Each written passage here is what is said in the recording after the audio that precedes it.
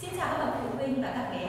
Hôm nay tôi sẽ tiếp tục đồng hành cùng với các bậc phụ huynh để hướng dẫn các con lĩnh vực phát triển ngôn ngữ với đề tài làm quen với chữ cái L, M, N. Thông qua hoạt động này, phụ huynh có thể giúp các con nhận biết và phát âm đúng các âm của từng chữ cái và nêu cấu tạo của chữ cái L, M, N. Để giúp các con có thể nhận biết được chữ cái L, M, N một cách tốt nhất thì phụ huynh có thể chuẩn bị cho các con những đồ dùng bộ thẻ chữ cái N, M, N, tranh, cây hoa tranh, hoa loa kèn và các kiểu chữ in hoa, in thường, viết thường của chữ L, M, N.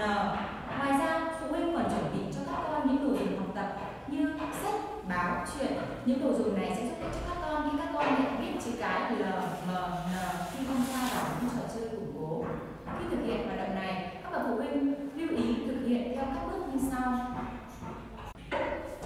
Ở đây, tôi đã chuẩn bị hình ảnh cây mai và dưới hình ảnh cây mai có từ cây mai. Các bậc phụ huynh cho các con đọc từ cây mai và các bậc phụ huynh có thể hỏi các con trong từ cây mai có bao nhiêu chữ cái và cho các con đếm.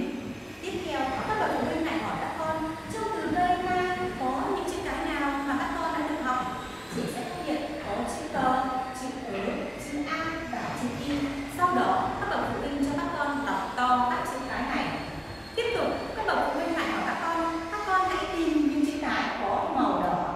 Sau đó, các bậc phụ huynh đố các con, con có biết các chữ cái này không? Nếu con không biết, thì các bậc phụ huynh giới thiệu cho các con biết được rằng đây là chữ y. Các con sẽ được làm quen ở các tiết sau. Còn chữ m, ngay sau đây các con sẽ được làm quen.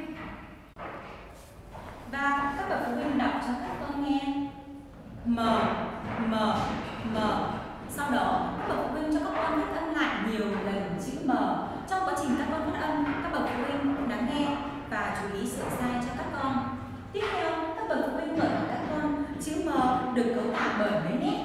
Đó là những nét nào? Nếu các con không trả lời được thì phụ huynh cấp cho các con biết được rằng chữ M được cấu tạo bởi một nét sụt thẳng và hai nét móc xuôi ở phía bên tay phải.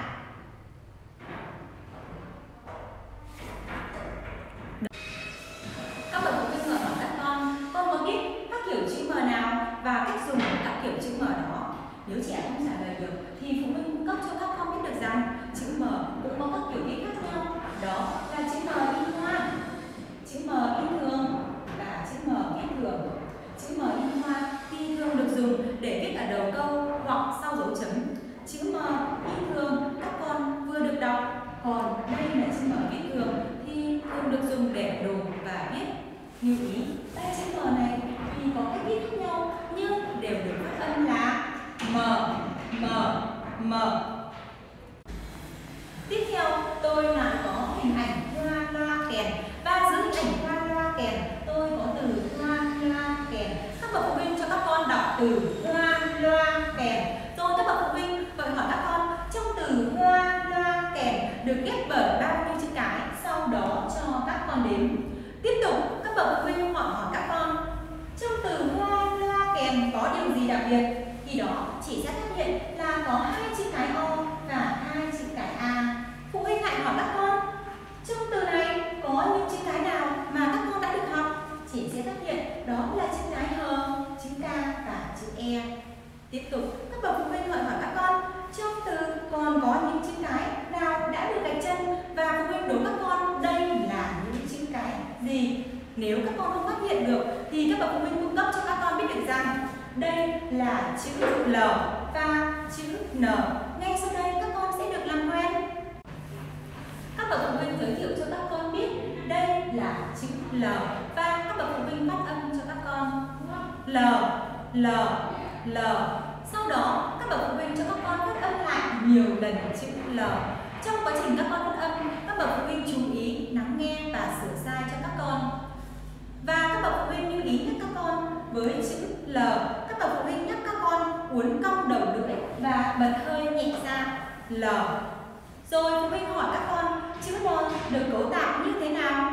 Con sẽ phát hiện và trả lời được rằng, chữ N được cấu tạo bởi một nét sổ thẳng.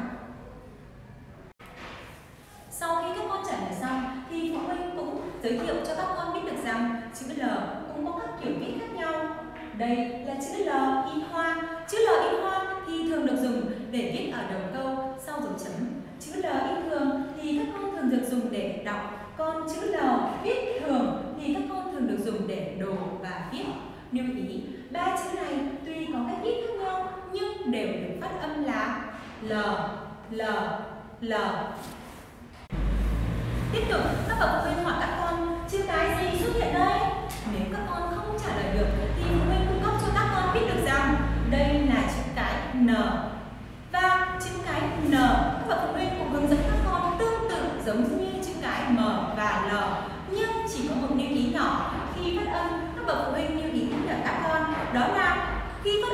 Thì đầu lưỡi đặt thẳng ở chân răng thẳng trên và miệng hơi mở, bật nhẹ hơi xuống dưới. N, N, N.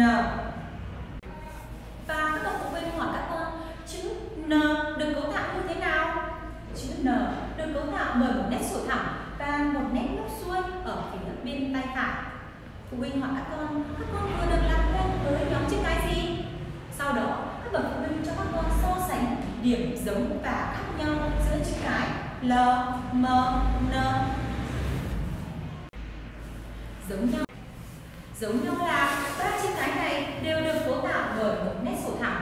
Còn khác nhau là với chữ cái M và N thì chữ M được cấu tạo bởi hai nét móc xuôi nữa. Còn chữ N thì được cấu tạo bởi một nét móc xuôi.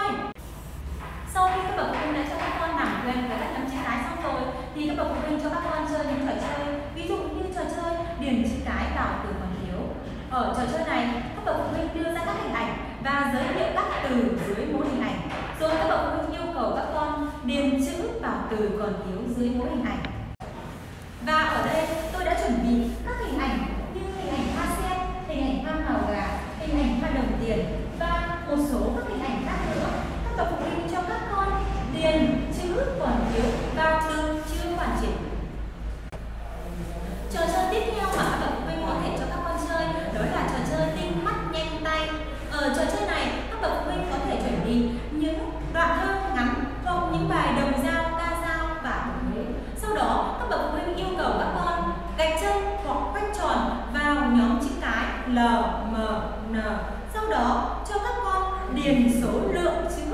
L, M, N tương ứng vào mỗi hình chữ nhật bên cạnh.